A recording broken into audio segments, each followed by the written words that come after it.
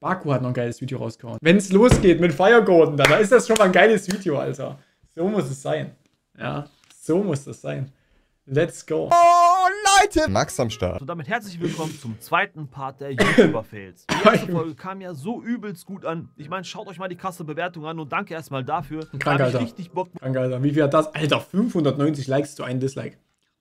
Mashallah, Bruder. Mashallah, richtig stark auf den zweiten Part zu erstellen. Und was soll ich Minion, danke für die 5 Bits. Es wird wilder, als der wilde Westen es jemals war. Wie auch im ersten Part. Ey, hoffentlich macht er das genauso wie im ersten Part. Ich fand den ersten Part von Baku richtig stark. Mein persönlicher Favorit auf seinem Kanal.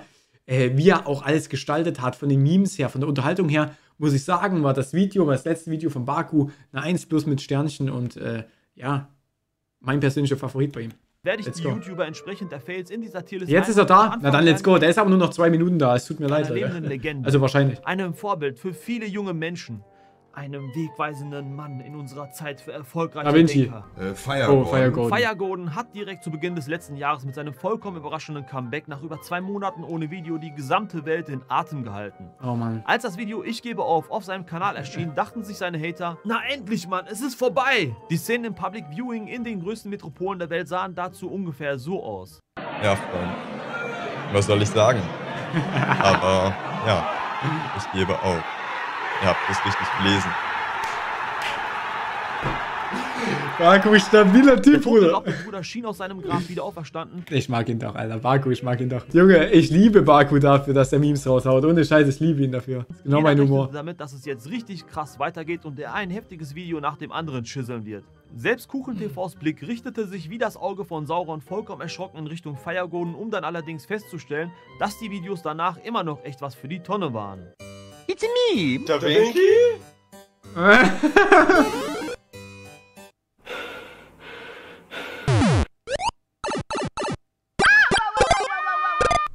Anfang ja, Junge, was ist bei ihm los, Alter? Der Bock auf Editieren oder wie? Bug, wartest du lange Weine oder wie? Was ist los? Demnächst gibt es dann so ein eigenes Spiel von Da Vinci, wie er einfach hier die Leute in den Müll trischt. War es nice, auch ein. Ding, dass Kuchen in seinen Videos vor die Cam getreten ist und unter anderem dadurch seinen Kanal wiederbeleben konnte. Dadurch das Gerücht, dass auch... Das nenne ich übrigens Kreativitäten, genau. So muss es... Das ist Content, der gefördert werden muss, liebe Freunde, ja? Das sind Leute, die, die YouTube aus Spaß machen und nicht, weil die denken, Alter, ich muss jetzt hier 10.000 Euro damit verdienen. Unter nice, anderem Alter. dadurch seinen Kanal wiederbeleben konnte. Schnell verbreitete sich dadurch das Gerücht, dass Aufnahmen vor der Cam der krasseste Shit ever seien, um noch erfolgreicher zu denken. Spätestens nachdem Firegon allerdings vor die Cam getreten ist, wusste die Welt, okay, vielleicht sollten doch nicht alle vor die Cam treten.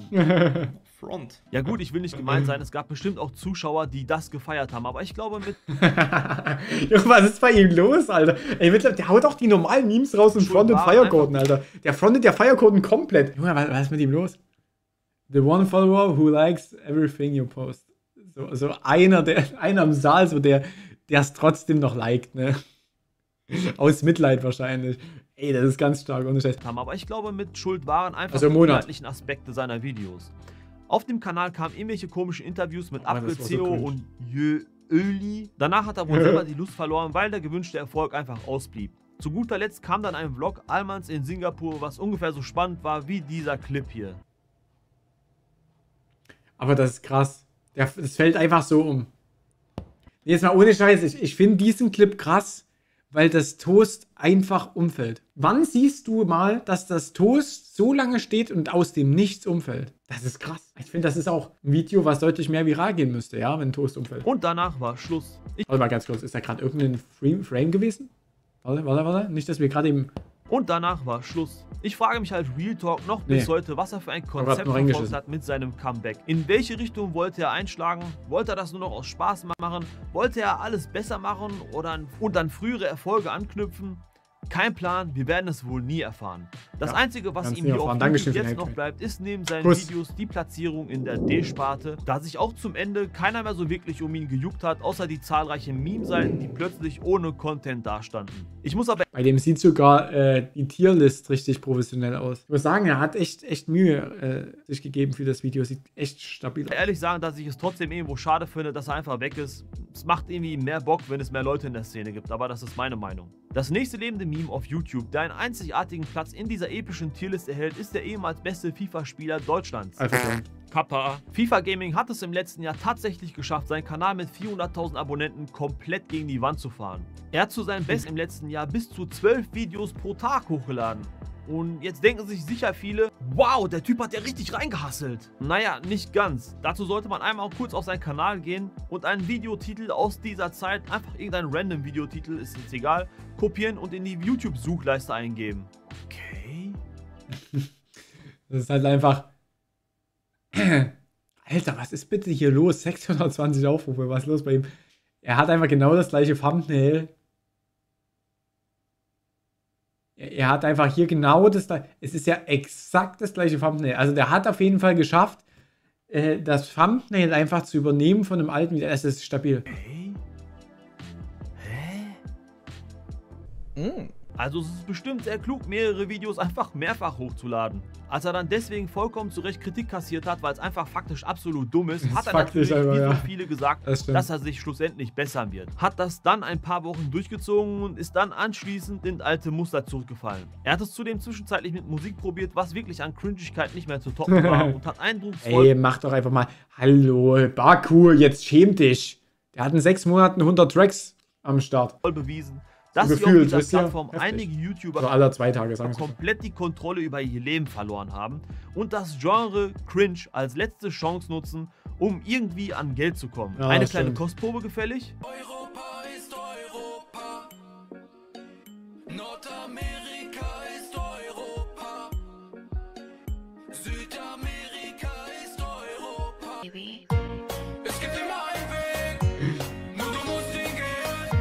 Ja gut, ist normaler Deutschrap heutzutage. Würde ich noch nicht mal als schlecht einstufen. Finde ich, äh, ja, nö, das geht schon. Ich meine, selbst der erste Blick auf seinen Kanal lässt das Cringe-Barometer in die Höhe schießen. Bro, was sind das für Thumbnails? Diese sind ähnlich wie seine Videos komplett nee, hingekackt oh, und vermutlich in weniger als zwei Minuten erstellt, weil jede Mühe für den eigenen Kanal zu viel des Guten wäre. Man macht einfach irgendein random Screenshot aus einem also Game, weiß nicht, ob ich das dasselbe erschrockene Foto von sich selbst im Bild ein, dazu noch einen Text, den kaum einer lesen kann, et voilà, Fertig ist ein Thumbnail aus dem Wish Jahreskatalog. Aus der Tatsache heraus, dass es wirklich im Herzen wehtut, dass solche Leute 400.000 Abonnenten erreichen und diese Reichweite dann mit Anlauf über den Jordan jagen, landet FIFA Gaming in der C-Tier-Sparte. Sorry, Immerhin, aber Alter, C-Tier ist noch ganz gut, ne? Das ist über Fire Golden. Also wir müssen ja trotzdem noch mal beachten, immerhin, ja. Dummheit kann ich auch nicht mit Fire Golden gleichsetzen. Als nächstes haben wir auf der Liste den guten alten ASMR-YouTuber Kenny, der sich unverschämter Art und Weise getraut hat, die noch bessere ASMR-YouTuber... Ey, Kenny K, Bruder, ich küsse doch dein Herz, ja. Kenny K kenne ich auch schon sehr, sehr lange. Wir sagen immer wieder, Alter, wir müssten uns dringend mal wieder sehen, ja. Aber Gamescom, Alter, das Gamescom müsste dieses Jahr mal dringend stattfinden. Kommst du Unrecht zu kritisieren? Spaß. ASMR unverschämter Art und Weise setzen. Als nächstes haben wir auf der Liste den guten alten ASMR-YouTuber Kenny, der sich unverschämter Art und Weise getraut hat, die noch bessere ASMR-YouTuberin Janina aufs Übelste und vollkommen zu Unrecht zu kritisieren. Spaß.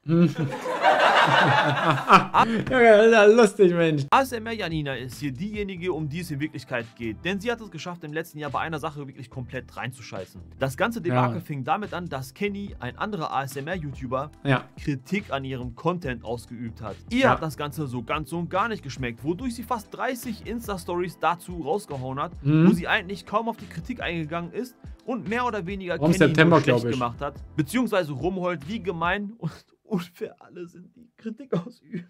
Das kann doch nicht wahr sein.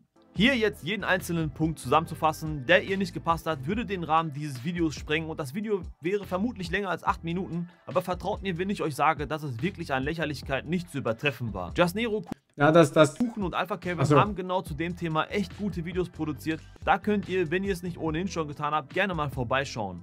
Im Prinzip hat sie aus einer kleinen Mücke einen riesen Elefanten gemacht und damit eindrucksvoll ja. bewiesen, dass sie noch kritikunfähiger als Da Vinci ist. Und das heißt schon, ja, aufgrund ihres losten Umgangs mit Kritik landet ASMR Janina oh, Platz D. auf der stillen Treppe. Versteht ihr? Wegen ASMR und still.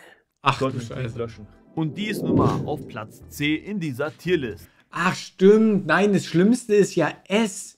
Ach, da ist ja Feiergurten mega gut davon gekommen. Ey, der ist ja auch FIFA-Gaming ziemlich gut davon gekommen. Genauso auch hier Olli. Warte mal, jetzt. Ja, nee, das, das kann nur überaus schlecht sein, ja. Das hatten wir schon das letzte Mal das Thema. Ja, das hier ist schlecht, extrem schlecht. Das ist abermals schlecht. Das ist bescheuert. Das ist scheiße mit C. Und das ist dumm.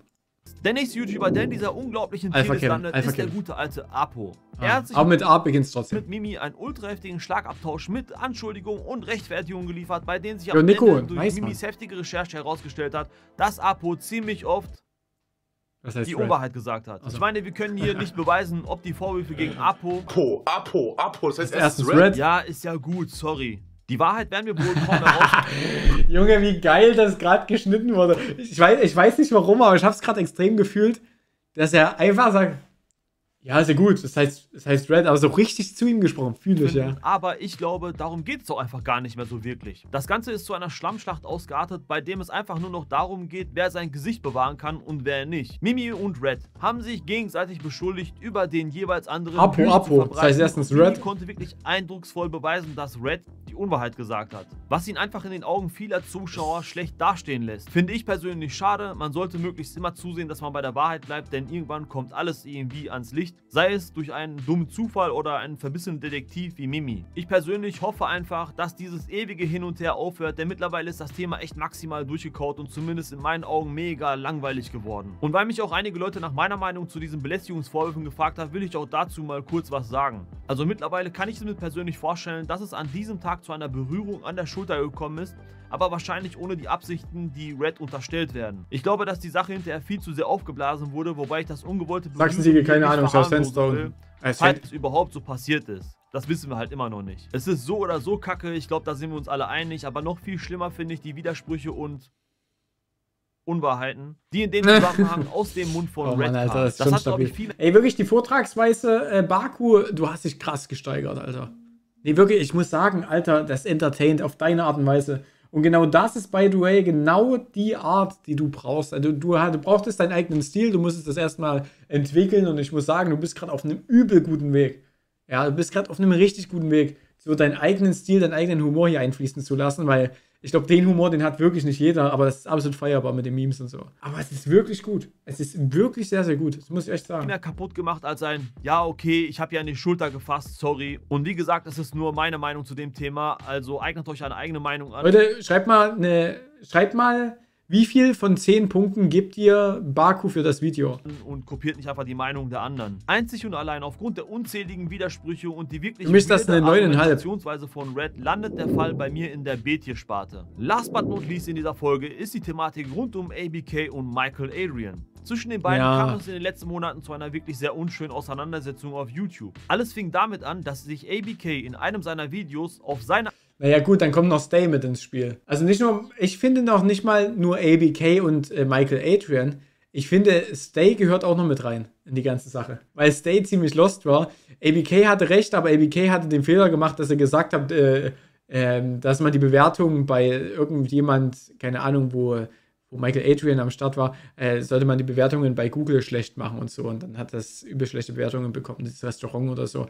Deswegen auch eine, das war, das fand ich ein bisschen schwach, aber ja, diese Aktion, die war auch anders krass. Eine Art und Weise über Michael Adrians Art zu sprechen lustig gemacht hat. Er hat Mimik, Gestik und seine inflationär genutzten Anglizismen kopiert, if you know what I mean. Michael hat daraufhin eine Reaction hochgeladen, wo man ganz klar und deutlich ja, das sind bei mir noch andere dass er humoristische Nachahmen funny fand. Bis ihm scheinbar komplett der Kragen geplatzt ist und oh, it escalated very quickly.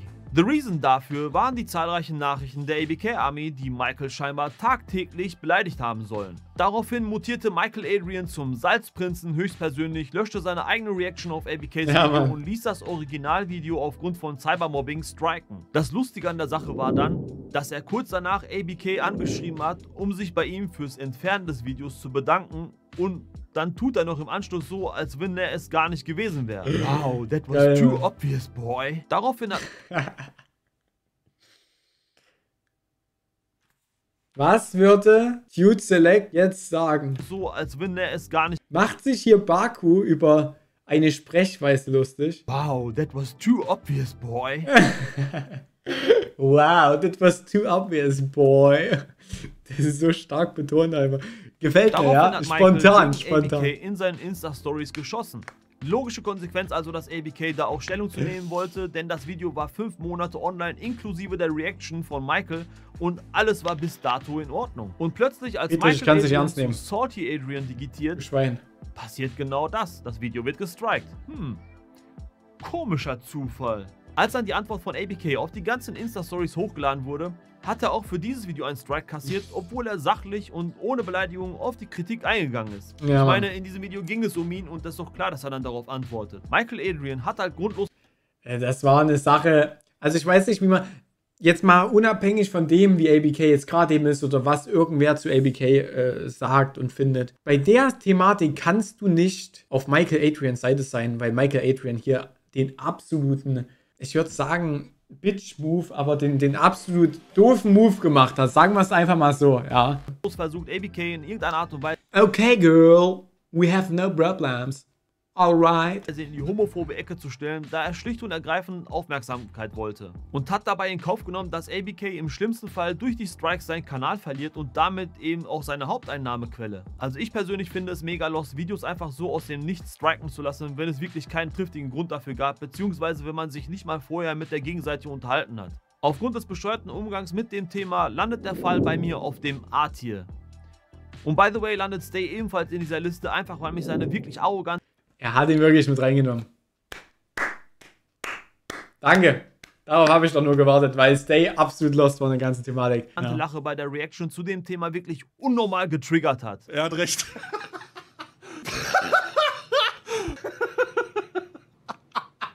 Mehr fällt sich nicht mal eingefallen. Falls euch noch was einfällt, könnt ihr das gerne jetzt unter die Kommentare schreiben. Wir sehen uns in der nächsten Folge. Ciao. Ja, Alter, ich finde, das ist zu sehr. Äh, mein, meine Meinung zu Baku, er ähnelt mir zu sehr KuchenTV. Ja, deswegen gibt es ein Dislike. Ich finde, die Videos da angeht dann einfach schlecht. Ja, wenn man sich halt nur an KuchenTV inspirieren lässt, beziehungsweise ihn kopiert, dann ist es halt scheiße. Ist halt so meine Meinung, deswegen.